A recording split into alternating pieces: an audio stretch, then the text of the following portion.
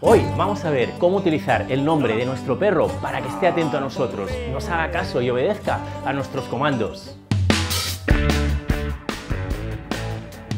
Hola, soy Manuel de Canine Service, psicólogo, coach y entrenador canino. Te doy la bienvenida a un nuevo episodio. Y ahora sí, vamos con el vídeo. ¿Cuántas veces has oído a alguien llamar a su perro por su nombre y nada, el perro no le hace ni caso? Al final lo que pasa es que el nombre se convierte en un ruido de fondo que el perro acaba ignorando totalmente. Manuel. Manuel. Lola. Lola. Lola. Lola. Para conseguir una buena respuesta al nombre, piensa que el nombre, por el nombre empieza todo. Tú cuando quieres llamar a tu perro, si le dices su nombre y no te hace caso, pues ya, ya vas mal. Si no tienes respuesta al, al comando de su nombre, digamos, ya lo que sigue, no, bueno, sigue desobediencia, ¿no? Entonces, ¿por qué suele pasar esto? Bueno, pasa por muchas cosas, pero probablemente es porque el perro ha hecho una asociación negativa entre su nombre y la acción que viene después. Fíjate cuántas veces has visto a una persona llamar a su perro para luego regañarle. Por ejemplo, si digo, Lola, no, no, Lola, no. El perro, ¿qué hace? Asocia, ellos aprenden por asociación. Entonces, lógicamente, si eh, cada vez que le llamo, o muchas de las veces que le llamo, es para regañarle, para retarle, para reñirle, eh, va a empezar a estar súper desinteresado en venir. Va, a oír el nombre y va a decir, wow, no me interesa para nada. Con lo cual, lo que tienes que hacer es eh, hacer una asociación muy sólida y muy positiva entre su nombre y la acción que viene después. ¿Cuál puede ser esta asociación? Pues muy fácil. Lola, ¡ah! Te doy un premio. Por ejemplo, esto es algo súper sencillo trabajarlo así. Lola, ¡ah! Y te doy un premio.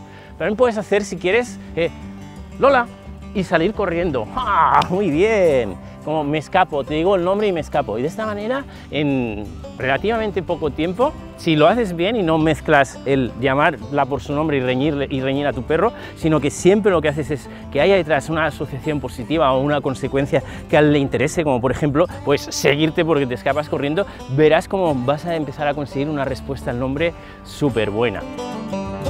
Vale, entonces te estás preguntando seguramente, si no puedo usar su nombre para regañarle o para que deje de hacer algo, ¿qué hago? ¿No hago nada cuando está haciendo algo mal hecho? No, no hace falta que no hagas nada. Por supuesto que le puedes indicar que tiene que dejar de hacer cualquier cosa que tú no quieres que haga, pero para eso no utilices el nombre. Por ejemplo, eh, quiero que entiendas algo. Hay aspectos paralingüísticos de, de, cómo utilizamos el lenguaje que te van a ayudar muchísimo. Por ejemplo, ten claro que los tonos graves lo que hacen es bloquear conducta. Y cuando digo un tono grave, por ejemplo, es un E. Eso es un tono grave y eso lo que hace es bloquear conducta. Eh, o sea, de alguna manera el perro va a parar de hacer lo que está haciendo. Y un tono agudo de, vale, chiquitín, bravo, eso es, va a generar conducta, le va a apoyar a seguir haciendo eso que está haciendo o incluso va a hacer que te venga. Entonces, cuando tu perro esté haciendo algo que, que no tiene que hacer, por ejemplo, yo que sé, que se quiere comer una caca, no quieres que se la coma, por ya algo muy extremo. ¡Eh! Un E serio seguramente lo que va a hacer es bloquear esa conducta, inhibir esa conducta, ¿vale? De, querer comerse una porquería al suelo, por ejemplo. No quiero decir con esto que sea la manera eh, más indicada o, el mejor sistema para eh, controlar ese tipo de conductas, solo te lo, quiero, se lo estoy poniendo como un ejemplo. De hecho, hace un par de años grabé un vídeo bastante bueno hablando de cómo evitar que el perro coja cosas del suelo. Si te interesa, puedes mirártelo, ahí te lo detallo muchísimo cómo gestionarlo. Imagínate, por ejemplo, que tu perro cogido algo. En vez de decirle, vamos a poner el ejemplo con, Lola, en vez de decirle Lola no, eh, le puedo enseñar a que suelte, por ejemplo, si es algo que yo quiero que suelte. Eh, imagínate que coge esta pelota, que es algo que a mí, por lo que sea, no me interesa que coja, eh, yo puedo perfectamente no reñirle para que me dé la pelota y simplemente explicarle pues el, suelta. Ah, muy buena. Lola, suelta. ¡Ah! ¡Bravo! Luego, pues si tengo premios, le entrego un premio, por haber soltado y fuera. Lo que hemos dicho de los aspectos paralingüísticos, de cómo manejamos las entonaciones, por ejemplo, de, nuestra voz cuando llamamos al perro, yo me imagino como tres maneras, siempre que trabajo esto, tres maneras de llamar a, mis perros, ¿no? La primera manera sería una manera que prácticamente es, optativa, ¿no? de, que él me haga caso o no.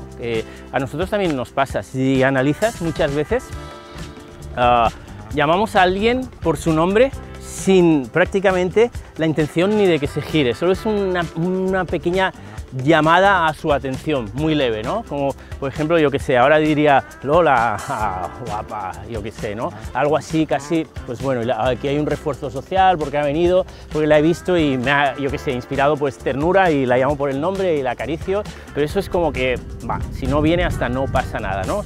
Esta sería la primera manera de llamarla. Luego la segunda manera sí que es la manera eh, que normalmente vamos a utilizar y ahí sí que desde mi punto de vista el perro tiene que girarse, sí o sí, tiene que poner su atención sobre ti. Su, foco atencional directamente cuando oyes su nombre ha de venir hacia, ha, de conectar contigo, ¿no? Y esto para trabajarlo, ¿eh? la primera vez pues hemos dicho que podíamos hacer el refuerzo social, una caricia, una alabanza, ya cuando queremos realmente una respuesta de sí o sí te tienes que venir, podrías, o sea, te tienes que reconectar tu atención conmigo, sobre mí, puedes utilizar pues eh, un premio sabroso o incluso un pedazo de su comida, una bolita de, si le das pienso. Lola, ah, ¿veis cómo ahora ya la entonación ha sido diferente?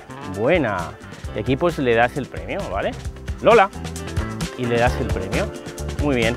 Y luego hay eh, otra manera de llamar que es, aquí había, pues ahí como hemos dicho, hay obligatoriedad. El perro si, si oyes su nombre tiene que conectar contigo, pero uh, luego hay una manera que aún hay más obligatoriedad. Por ejemplo, imagínate que va a cruzar la calle, que, mm, va a ir hacia un perro que sabes que le va a morder, algo que es imprescindible, absolutamente imprescindible que te haga caso tú ahí. Tu tono de voz va a ser mucho más uh, grave y va a impresionar, va a impactar mucho más sobre el perro. Entonces, yo también lo trabajo esto y lo trabajo dándole un premio mucho más grande. O sea que la primera vez que le hemos llamado le he dicho Lola, la segunda vez le he dicho Lola y la tercera vez, que va a ser ahora, veréis como el, tono de voz va a ser muchísimo más grave todavía.